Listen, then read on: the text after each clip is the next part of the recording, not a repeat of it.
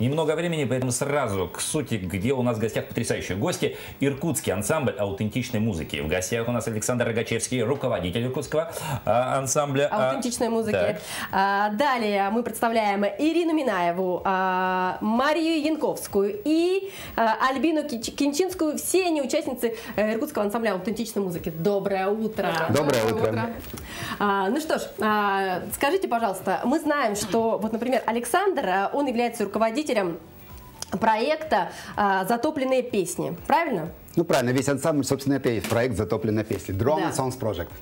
Скажите, пожалуйста, в двух словах, давай, я думаю, что очень многие иркутяне уже э, в курсе, знакомы с этим проектом, но в двух словах напомним еще раз, что это за проект и в чем его уникальность? Но суть проекта в реконструкции музыкального наследия Сибирской Атлантиды. Деревень, которые затоплены при строительстве Иркутской, Братской, Устилимской и вот ныне Богучанской ГЭС. Все, что по Ангаре было до Енисея, то оказалось за затопленным. И вот это музыкальное наследие, с ним надо что-то делать.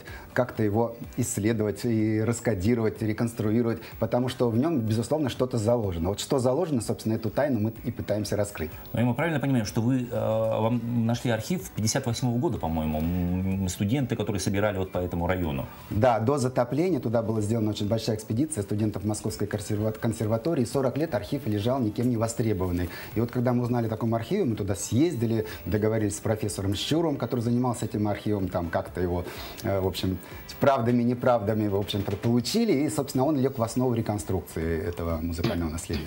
Вот в двух словах, вот что вами движет? А Почему э, сейчас, ну, допустим, было бы полезно детям, э, подрастающему поколению познакомиться с этим искусством? Ну, в историю всегда окунуться полезно. Вот. А прежде всего нами движет просто собственно это наш путь, который мы выбрали. Любой художник, любой артист, он как-то выбирает свой путь и в нем познает самого себя.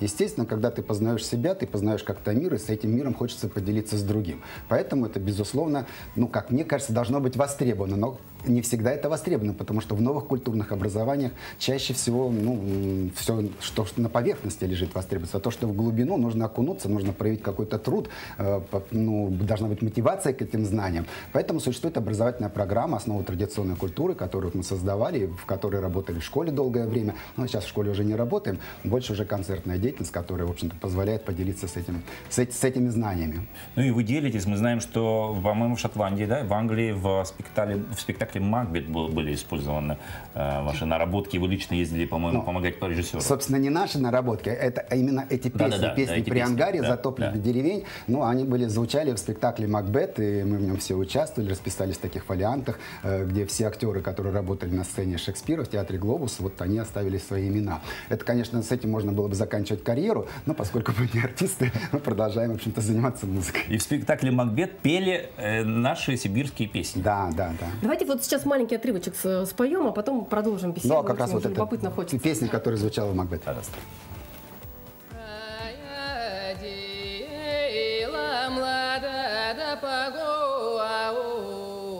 Ходила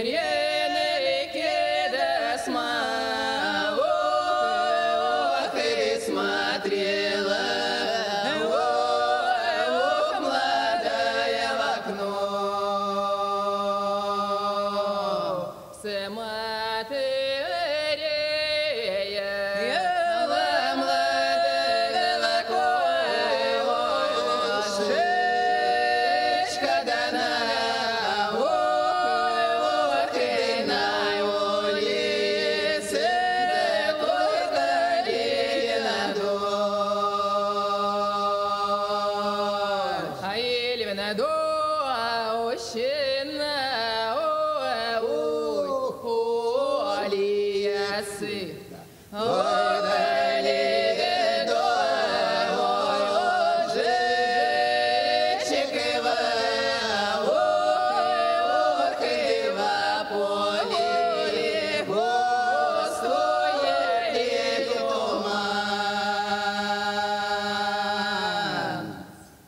Это До, удивительно. до мурашек прямо, да? Вот мне кажется, что даже не обязательно понимать смысл, то, о чем мы, вы поете, потому что здесь самое главное это чувство. Ну а также, как, как мы слушаем рок-музыку, мы не обязательно все понимаем по-английски язык, но чувство это самое важное. Это 19 век, когда культура сформировалась очень ярко, и она была очень-то чувственной. Это все лирические песни. Вот лирика при ангаре, она, собственно, составляет с- собой такую уникальность музыкальную, но, на мой взгляд, которая заслуживает, в общем-то, охраны ЮНЕСКО.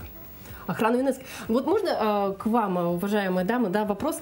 Я понимаю, что а, когда сталкиваешься вот с таким, э, ну, действительно, наследием, да, вот что-то, может быть, вас там, я не знаю, там, преобразилось, либо что-то, как- как-то что-то, а, м, не то, что преобразилось, а что-то изменилось, какая-то трансформация, возможно, с вами произошла, когда вы стали петь, э, вот, действительно, наши исконно а, сибирские песни.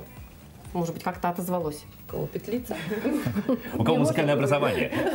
Ну, образование у нас обычная музыкальная школа, как, наверное, многих детей наших иркутских школ.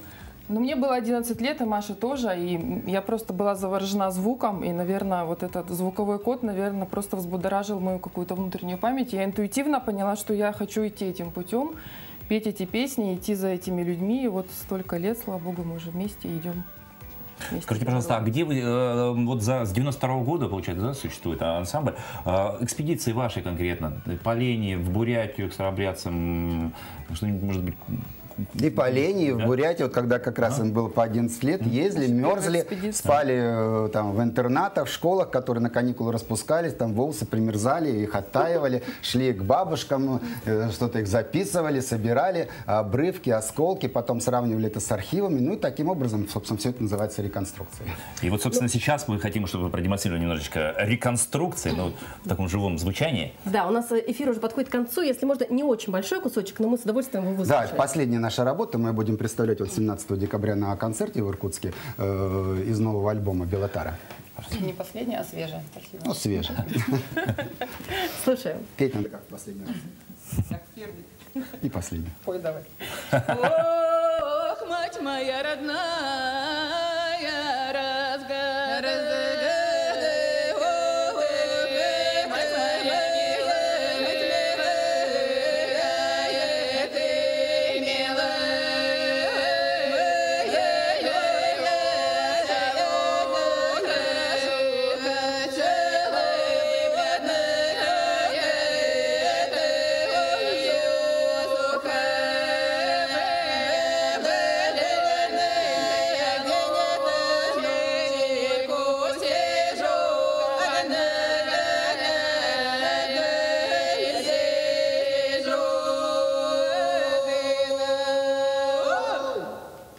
Спасибо, друзья. Это просто потрясающе, действительно. Тут вот на уровне, я не знаю, какого-то подсознания что-то включается, да?